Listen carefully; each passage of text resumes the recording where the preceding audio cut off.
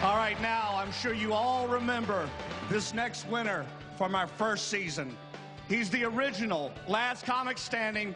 Please bring him to the stage with a huge round of applause, Dat Phan.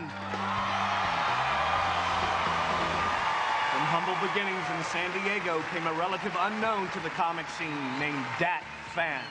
I knew comedy was for me when I was the only Asian in high school that failed math. In the house, Dat's castmates conspired against him. We were going to play hide and go seek and get Dat to go hide, but nobody was going to go look for him. We're around 19 minutes now. Dat's been uh, successfully hiding from Ralphie. What the hell is wrong with you guys? Dat proved himself as he took out his competition one by one. Dat Phan! In the finals, he faced Ralphie May Holy smokes! Dat Phan. And ultimately beat him for season one's title of Last Comic Standing. You have to be a little crazy to really sacrifice everything to get what you want. But I love it. All right, here he is, the Asian invasion, Dat Phan, Dat Phan.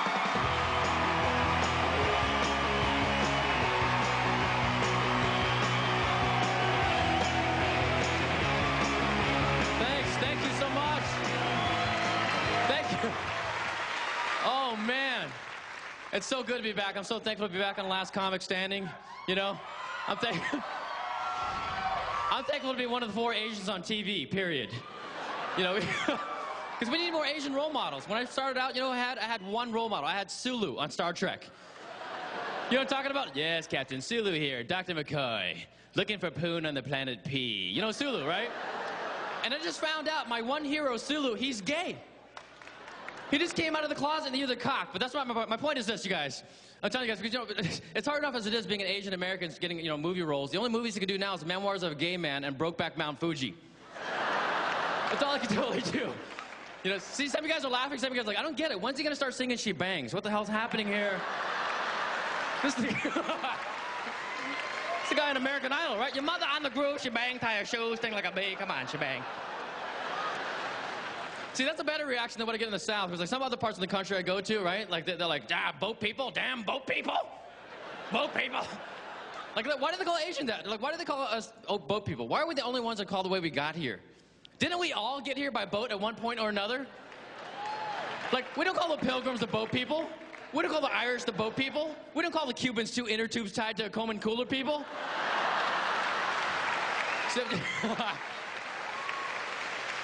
Everyone's like laughing, but like four Cubans in the back, like, ha ha, wait, that's us. Get up at the cooler. Kill him at the cooler, come on. Actually, I, I was born in Vietnam, but I grew up in America. I play with American toys. I play with G.I. Joes. I love my G.I. Joes. You guys love G- you guys play with G.I. Joes? I love my G.I. Joes. But then I realized I was a Vietnamese kid playing with white soldiers for fun. How confusing is that? What did you just pretend like I'm G.I. Joe and I hold myself hostage? We're winning! We captured ourselves. What the? Now the toys suck. Like they're made by crack addicts. Like I tried to find some G.I. Joes for my nephews. I found glow in the dark ninjas in the G.I. Joe force. glow in the dark ninjas. Doesn't that defeat the purpose of what a ninja's supposed to do? Like a ninja's supposed to be invisible in the dark. This guy's like, nobody can see me. I'm glowing in the dark. What the hell going on here? Like, what's his code name? I'm obvious, Ginger. Can you see me right here? Kill me right here. I have an orange construction vest. Shoot me right now. What the hell? Because you guys ever see that when Asian people get pissed off? We all say the same thing. Like, you, you try not to laugh. They're like, what the hell? What the hell? Crap you! What the hell? What the hell is this when we're mad? We're like moving our arms, what, we chopping chicken when we're pissed off? What the hell? Ch- Chicken's ready, chicken right there for you. Who order? What the, what the hell? Dinner time right there, combo plate number 64, who order? Come on, order. I love food, man. I was touring with the East Meets West comedy tour, and I was like out in the uh, Vegas, and we were watching Iron Chef America. You guys love Iron Chef America? I love that show. It's great. I'm glad on Iron Chef America, though, they don't cook anything American on Iron Chef America. Because that'd be like really boring. You're like, ladies and gentlemen, looks like Chef Dwayne is working on a hamburger. Our secret ingredient for today is Velveeta.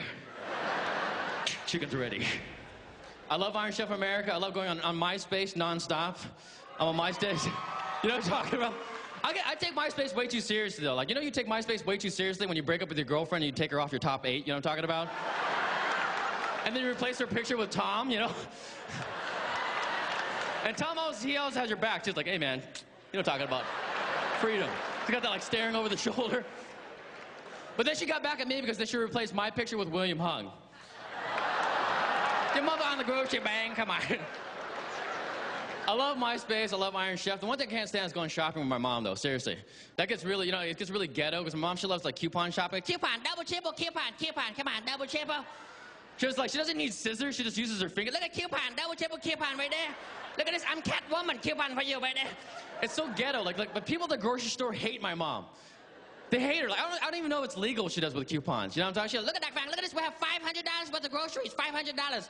After coupons, $10. Why you hate me? Oh, wait, two more. Now you owe me $10. Ain't no holler back, girl. Come on. I love dating all different girls. I, I, especially date the white girls, you know. And it's like I don't know what it is. It's, it's crazy. My mom can't stand. it. I don't know what it, I don't know what it is, but I feel like when I'm having sex with a white girl, I'm reuniting Vietnam and America. That's what I feel like I'm doing. But mom, my mom has a hard time with her. You know what I mean? Like she has a hard time. Like every time, look at her. She wanted. Look, she wanted. She was always saying like, what she wanted all the time. Look at she's a, she's a, look, she's a whore. She's a whore. I can say anything. You know, no, this is, you know, this is Stacy. She's studying medicine. She's going to be a nurse. Hey, everybody, look at me. I'm a nurse that's a whore. I'm a nurse that's a whore. I can say like, this is DJ. She's going to be a cheerleader. Hey, everybody, give me a D, give me a J. What does it spell? Whore. Yeah, I'm a whore. I think one day I'm gonna bring home like an actual Asian girl, but she's like a prostitute instead. I'm like, hey mom, look at this girl, she's a whore. Hey, look at this girl, she's a nice girl. She, she can have like a syringe sticking out of her arm, you know? Hey, look at her, she's studying medicine. She's gonna be a nurse. She's so relaxed, she's laying down on a dumpster. Thank you, I'm Dat Phan. You guys have been fantastic. Thank you so much. Thank you. It's good to be back. Let him know, Dat Phan. Nice shot, Dat. Thank you, buddy. Dat Phan.